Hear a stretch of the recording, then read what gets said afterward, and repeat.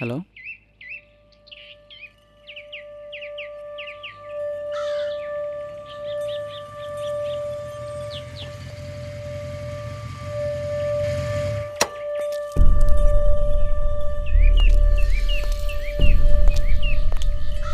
అది నేను చూసుకుంటాలే సార్. మీరేం వరీ కాకండి.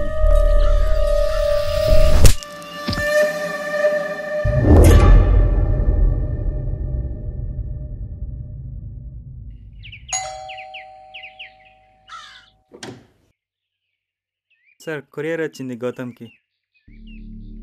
ఏంటది? సార్ మీ కంపెనీ నుండి కవర్.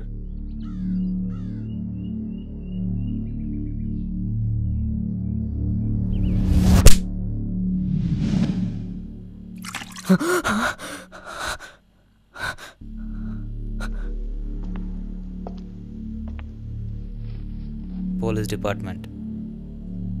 అంతా చెక్ చేశాను సార్. ఒక రూమ్ మాత్రం లాక్ చేసింది. ఏముందా రూమ్లో? నా భార్య. ఏ ఊరు? విశాఖపట్నం. ఈ నెల పద్నాలుగో తేదీ సాయంత్రం అడయార్లో ఒక ఇన్సిడెంట్ జరిగింది. అది ఎందుకు జరిగిందో ఎలా జరిగిందో నీకు కూడా తెలుసు. ఎందుకంటే చేసింది నువ్వే కాబట్టి. మన దగ్గర ఎక్కువ టైం లేదు. నీకు పది నిమిషాలు ఇస్తున్నాను. జరిగింది జరిగినట్టు చెప్పు. ఎందుకు చేసావు మాడు? కారణం? నేను నా భార్య అంజలి. మాకు రీసెంట్గానే పెళ్ళయింది. నేను హిందూ తన క్రిస్టియన్ అవడం వల్ల మా ఇంట్లో మా పెళ్ళి ఒప్పుకోలేదు ఇంట్లో నుంచి వెళ్ళిపోయి రిజిస్టర్ మ్యారేజ్ చేసుకున్నాం. ఇదే మా ఇల్లు. పేరెంట్స్ ఎవరు మాతో లేరు. ఎవరి సపోర్టు మాకు లేదు. అయినా కూడా జీవితాన్ని ఆనందంగానే గడపాలనుకున్నాం. అలాగే గడిపాం. కానీ అనుకోకుండా ఒకరోజు. ఈ రింగ్ టోన్ ఒకటి. హలో. హలో. హలో. హలో. నువ్వు చాలా అందంగా ఉంటావు. నేను నిన్ను రోజు చూస్తుంటా. ఎవరు? ఫ్రంట్ కంటే కూడా నువ్వు బ్యాక్ నుంచి సెక్సీగా ఉంటావు. ఏ ఎవరు నువ్వు? ఏం కావాలి?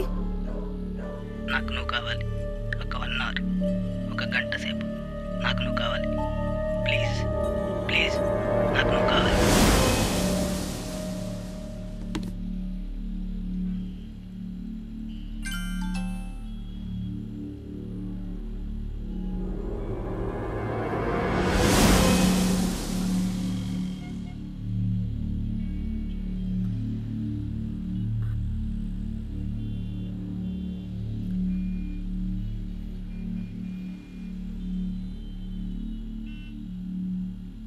గౌతమ్? గౌతమ్ వాడెవడో కాల్ చేస్తున్నాడు. చాలా అసహ్యంగా మాట్లాడుతున్నాడు. అంజలి ఏమైంది? ఎవరు కాల్ చేశారు? నాకు తెలియదు గౌతమ్. కాల్ చేస్తూనే ఉన్నాడు.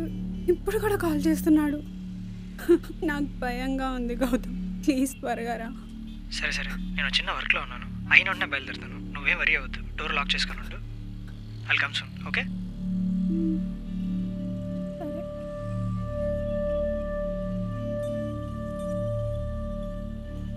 ఆ రోజు ఈవినింగ్ ఇంటికి వెళ్ళిన వెంటనే ఆ నెంబర్కి కాల్ చేశాను.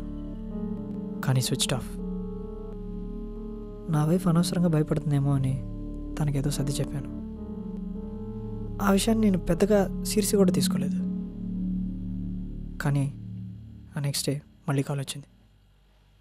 డిఫరెంట్ నెంబర్ దాని తర్వాత రోజు కూడా అలాగే జరగడంతో ఏం చేయాలో అర్థం కాక పోలీస్ కంప్లైంట్ ఇచ్చాను. ఇంకా ఆ విషయం గురించి ఆలోచించడం మానే. పోలీస్ కంప్లైంట్ ఇచ్చాం కదా వాళ్ళు చూసుకుంటారు. ఆకలేస్తుంది. ఫోన్ చేద్దామా? తర్వాత కొంతకాలం ఏ ఫోన్ కాల్స్ లేవు. అంతా బాగానే ఉందని అనుకుంటున్న టైంలో ఒకరోజు ఆఫీస్కి త్వరగా వెళ్ళాల్సిన పరిస్థితి వచ్చింది. ఆ రోజు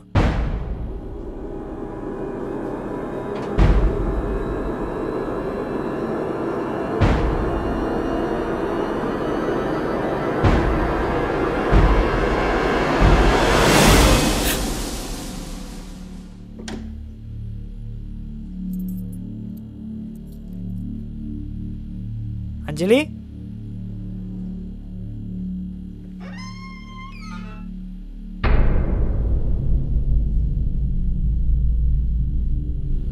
నా భార్య గొంతు మీద కత్తి పెట్టి చంపుతానని బెదిరించి తనని రేప్ చేశాడు.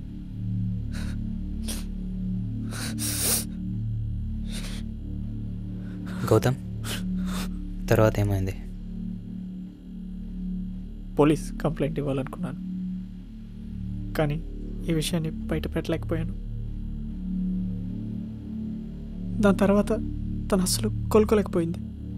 నేను ఎంత ట్రై చేసినా తను ఇంట్లో నుంచి బయటికి రాలేదు.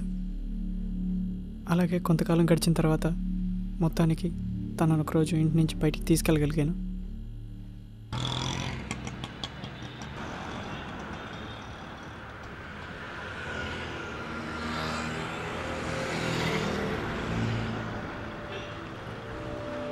అంజలి రా వెళ్దాం.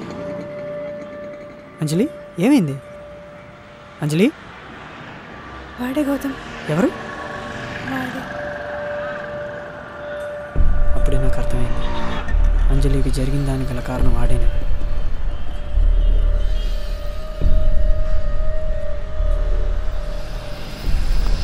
వాడిని చంపేయాలన్నంత కోపంతో వాడిని ఫాలో అయ్యాను.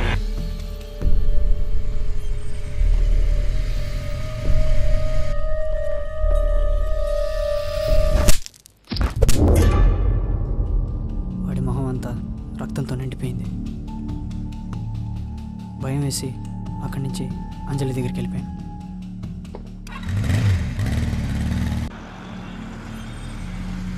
అంజలి రా. Anjali Anjali. Block block block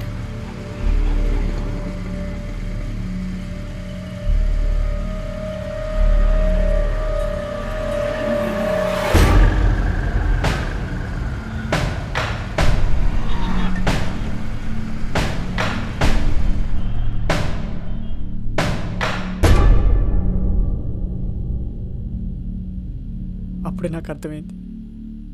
ఆ ఇన్సిడెంట్ తర్వాత కోలుకోనే లేదు. పిచ్చిదైపోయింది.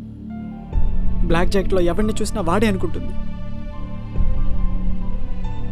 అది జరిగినప్పటి నుంచి ఈ వారం రోజులుగా నరక చూస్తున్నాను. నా వైఫ్ ఇలా అయ్యిందన్న బాధ కన్నా నా వల్ల ఒక ఇన్నోసెంట్ చచ్చిపోయాడనే ఆలోచన నన్ను చంపేస్తుంది. సూసైడ్ చేసుకోవాలనిపిస్తుంది. కానీ నా వైఫ్ని ఇలా వదిలి వెళ్ళలేక ప్రాణంతో ఉన్న శమలా బ్రతుకుతున్నా. జరిగిపోయింది. ఇప్పుడు తను నువ్వు ఆపలేవు ఆ దేవుడు ఆపలేడు. కానీ ఇక్కడ నేను చెప్పాల్సింది ఏంటంటే నువ్వు అటాక్ చేసిన అతను నువ్వు అనుకున్నట్టు చనిపోలేదు. బ్రతికే ఉన్నాడు. హాస్పిటల్లో. Global hospital. కాకపోతే తనొక ఒక పోలీస్ ఆఫీసర్. కొత్తగా జాయిన్ అయిన కానిస్టేబుల్. అతను బ్రతికే ఉన్నా కూడా నువ్వు ఒక పోలీస్ ఆఫీసర్ మీద అటాక్ చేసావు. Crime is a crime. అది నువ్వు తెలిసి చేసినా తెలియక చేసినా ఆ కాన్సిక్వెన్సెస్ను ఫేస్ చేయాలి. అంతకు మించి మనం ఇంకేం చేయలేం? Hope you'll get out of this soon వెళ్దామా? సార్ ఇతన్ని కూడా తీసుకెళ్దాం. అవసరం లేదు. తను ఎక్కడికి వెళ్ళాడు. పారిపోయేవాడైతే ఇప్పటి వరకు ఇక్కడ ఉండేవాడు కాదు. ఇప్పుడు నిన్ను వదిలి వెళ్ళడానికి గల కారణం నీ వైఫ్. రేపు నువ్వే స్టేషన్కి రావాల్సి ఉంటుంది. Eleven o'clock in the morning Adyar station.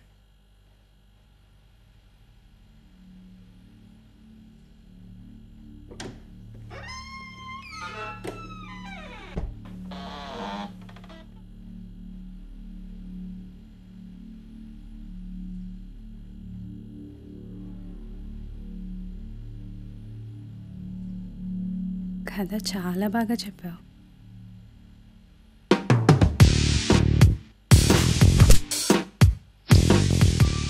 Police police police.